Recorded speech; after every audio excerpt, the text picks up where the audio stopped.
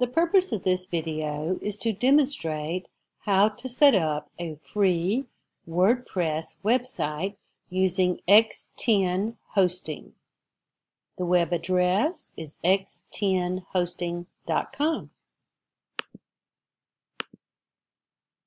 You begin with giving the name that you want for your website. I would like for you to put your full name.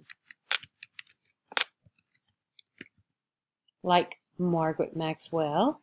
So your address will be your name dot x10host.com.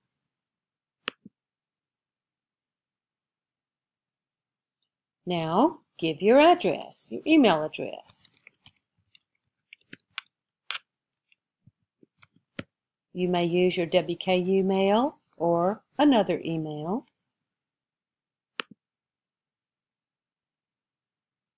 Give a password.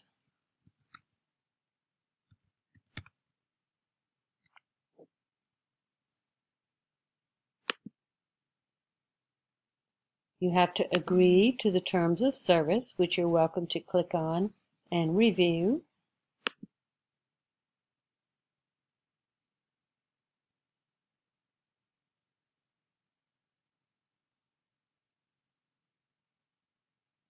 You're signed in. Check your inbox in your mail, which will give you a confirmation link. You click on that confirmation link and you have a website. The next video will show you what to do from there.